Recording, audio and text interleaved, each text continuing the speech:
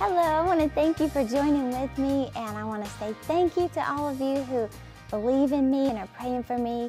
Some of my new friends I've been meeting on trips I've been taking. I mean, I've been going all over the place Seattle, Washington, Minneapolis, Minnesota, Pennsylvania, New Jersey, London, England. I mean, hey, we took faith and mascara to Pennsylvania, to the Amish country. I didn't really blend in very well there, but they received the word. And not only that, but I just want you to know that we have been reaching people from all different types of walks of life.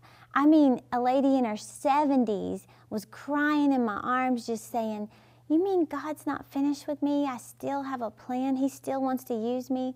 I've had people come up to me who were strippers, who were in violent relationships, hiding out in women's shelters. I mean, all types of situations. And they're just crying because they feel like they're still valuable. God still has a plan for their lives, which is what my ministry is all about. So I just want to say thank you for believing in me and praying for me. Please pray for me. so I want to talk to you this whole month about your self image.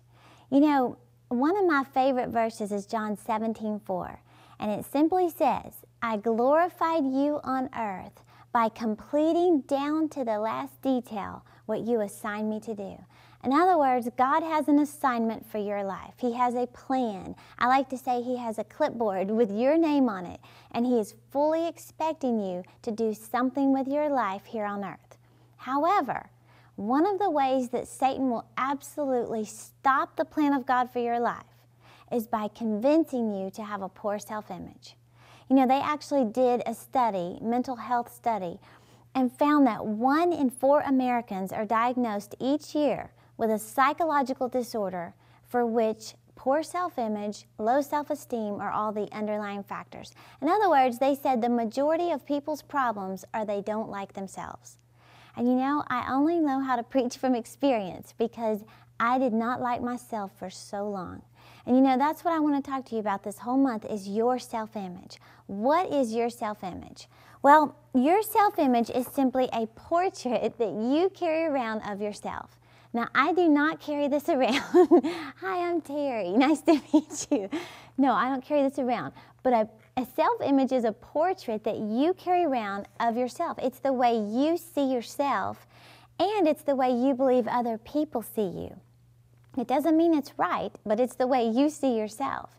Now, you may have a distorted self image. I know when I was in college, our professor had us draw a picture of the way we saw ourselves. I actually have a little sample here. That's the picture that I drew of myself. I mean, I just picked out everything I hated about myself. I hated my thighs, I hated my giant eyes, freckles, I'm knock kneed. I mean, I drew just this distorted picture, and she said, Many of you have a distorted self image. well, I don't know how you see yourself, but I can tell you this Satan wants you to see yourself beneath the way God sees you. He wants you to hate things about yourself. You know, from the time you were born, He sends a message to you that you're flawed, you're messed up, you're ugly, you're fat, you're worthless, you're trashy, you're a loser, whatever it is. He is constantly sending these messages that you're not good enough, you're not smart enough, you're not thin enough, you're not rich enough, whatever it is. He wants you to not like yourself. He wants you to compare yourself to other people and always feel like you just don't measure up. Well, once you've accepted a poor self image, you make choices that agree, that support your beliefs about yourself. If you think you're trashy, you'll act trashy. I mean, you just you make decisions that agree with how you see yourself. You behave in a manner consistent with how you see yourself. You know, I heard a story about a guy named Victor, and it said that when Victor was 15 years old, he was told from his teacher that he wouldn't amount to much and that he should just drop out of school and learn a trade. Well, since he was told he was an idiot, he acted like one for the next 17 years. Then, when he was 32 years old, he found out he had an IQ of 161. it says that since that time he's written books, he's secured several patents, he's the chairman of a successful business, and he's chairman of the Mensa Society, which has the qualification of an IQ of 140 or higher. In other words, you behave in a manner consistent with how you see yourself. Now, why would you have a poor self image? Well, it could be words that have been spoken over you by your parents, by teachers, by coaches, by an old boyfriend, an ex husband, an ex wife. Words do damage to your self image like nothing else. Could be divorce, it could be abuse, abuse of all kinds. You know, sexual abuse, physical abuse, verbal abuse, all types of abuse damage our self image. Rejection, being compared to a sibling, turmoil in the home, marriage rejection, maybe your spouse cheated on you, could be rape, it could be all kinds of things. And like I said, from the time you're born, Satan's trying to tell you you're flawed, you're messed up. And he will use whatever situation he can to instill in you a poor self image. Because if you don't value yourself, no one else will either. If you don't care about yourself, if you think you're trashy, then other people are going to treat you like trash.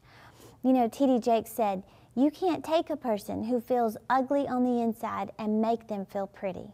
He said they cannot retain the encouragement because they're leaking on the inside. Then he said, Only the Word of God can get down on the inside of your soul and fix the plumbing and transform your self image.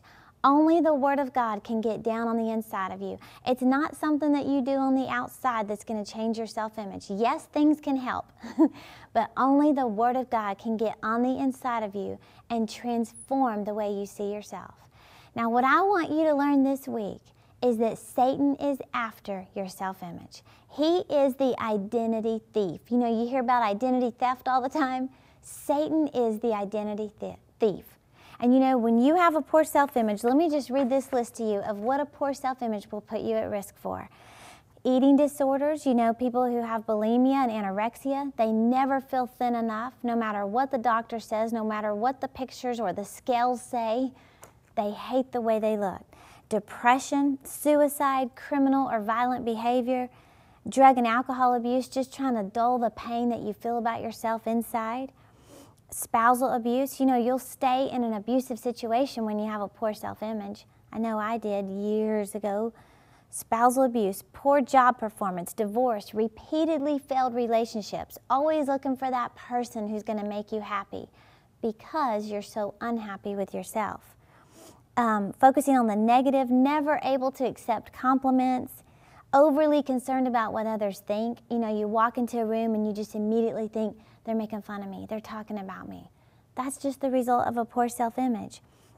Always quitting things, resigning from things. If you ever feel like you start something, you don't finish, start something, but you never finish. Those are all symptoms of someone with a poor self image. Controlling, needy, success driven, and a constant need for validation and recognition. Always having to be told, you're doing good, you look pretty, you're skinny. Well, God wants to heal you from the inside out. He doesn't want your value and your worth being determined by a person or by an experience. Why? Because Jeremiah 1 5 says, Before I made you in your mother's womb, I chose you. Before you were born, I set you apart for a special work. I want you to know that God has an assignment on your life, and He needs you so confident. He needs you to be so full of godly confidence that you you confidently walk out His plan, that you could care less what happened in your past, that you're free and now you're able to set others free. Now, I don't know what happened in your past, but God doesn't want you living back there when everything He has for you is up here. He has a plan for your life. So, you know, Gen- General Douglas MacArthur, I think he's the one who said, one of the first and most important rules of war is you got to know your enemy. I want you to know that those people who hurt you or wounded you or made fun of you, rejected you, whatever it is, they are not your enemy. Satan is the enemy. Your war is with the devil, and he is after your self image. Now, I want you to get this new message. If you relate to anything I'm talking about, I want you to get this message or get it for somebody you know. I have received more testimonies from this message than any of them I've ever preached before. And it's called Your Self Image Affects Your Destiny. And I'm going to share with you seven things that you must know to build your self image. And like I said, I preach from experience. So if God can transform me, trust me, He can do the same for you.